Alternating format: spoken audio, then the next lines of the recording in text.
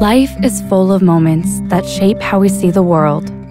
At Clarkson Eye Care, we believe that personalized eye care starts with understanding our patients' needs and ambitions.